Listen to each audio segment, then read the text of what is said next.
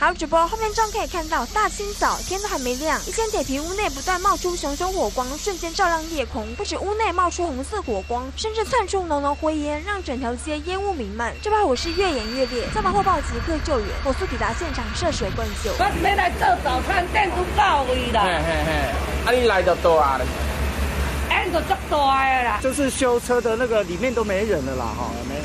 后门工厂多。事情发生在今天清晨三点多，位在台中丰原的一间轮胎行，不明原因发生火警。由于现场是联动铁皮屋，加上存放不少易燃物，火势一发不可收拾，一路蔓延到隔壁钓具行。那我们消防人。员到场的时候，这个现场的轮胎行以及钓具行已经全面燃烧。那消防局总共出动了七个单位，十七部消防车。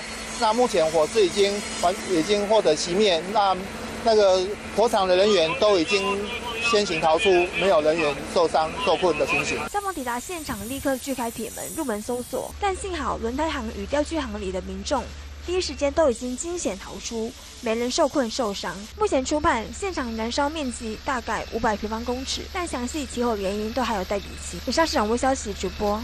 我是方艳迪，主播工作让我学习倾听所有人的意见，也要保留自己的判断。也许我们无法踏遍所有土地，但能从新闻里看尽每一道风景。我是方艳迪，请您锁定中视 YouTube 频道，记得要按赞、订阅、分享，开启小铃铛哦。